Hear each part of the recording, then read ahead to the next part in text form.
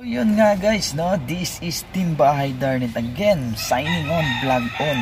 So ang tatalakayin natin ngayon guys, ah, kung kung ano ba ang nagiging dahilan kung sira ang inyong brake switch. Ayan. So kung sira man ang inyong brake switch, ano po ba yung magiging dahilan niya? Ayan. So bago kayo pero bago kayo magpalit ng brake switch, ah, dapat alam nyo muna ang basic step kung paano mag-diagnose kung sira man ang inyong brake switch. So, tara, talakayin natin.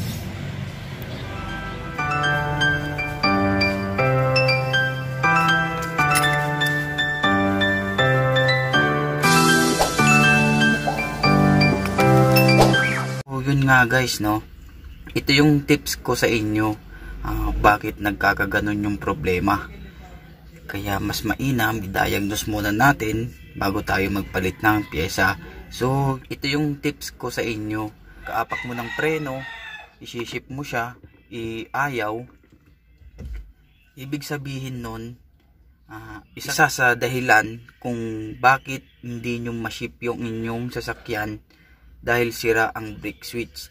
So, para ma ma masigurado kayo na sira yung brake switch ninyo pagkaapak nyo ng preno pag hindi umilaw yung dalawang brake light tapos wala kayong marinig na lagitik papunta doon sa shifting ibig sabihin sira na po yung brake switch ninyo. So palitan na natin. Ayan. Kung kung pagka sinalpak nyo ito at hindi na umiilaw yung brake light nyo, pwede nyo na siyang iikot. Paikutin nyo lang siyang ganon. Tapos, pagka hindi na umilaw yung brake light nyo, ibig sabihin, success yung pagkakakabit nyo.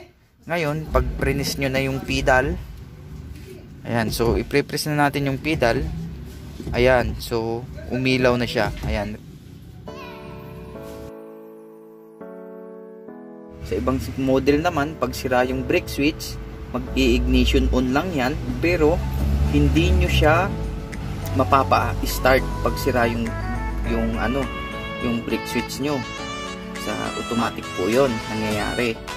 So, ang gagawin nyo lang, pwede nyo galaw-galawin lang, baka nag-stack up. Galawin nyo lang yung doon sa may brake switch nyo. Ngayon, pag umandar na, eh, kailangan nyo ng ipunta sa pagawaan. Yan. So, para ma ma-check din nila. Huwag nyo nang itaya na ayun, gumana. So, pwede pa pala. So, kailangan pa rin na mayroong tumingin sa nakakaalam kung bakit nagkaganon yung problema. Ito ay, itong ginawa kong video na to is para matulungan lang kayo na basic trouble sa mga hindi nakakaalam.